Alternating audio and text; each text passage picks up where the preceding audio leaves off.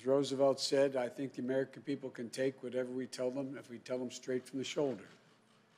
The next few weeks and months are going to be very tough, a very tough period for our nation, maybe the toughest during this entire pandemic. I know it's hard to hear, but it's the truth. But as I long feared and warned, the effort to distribute and administer the vaccine is not progressing as it should.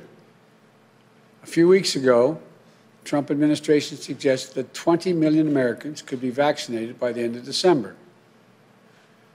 With only a few days left in December, we've only vaccinated a few million so far. And the pace of vac- the vaccination program is moving now, uh, as it, if it continues to move as it is now, it's going to take years, not months, to vaccinate the American people.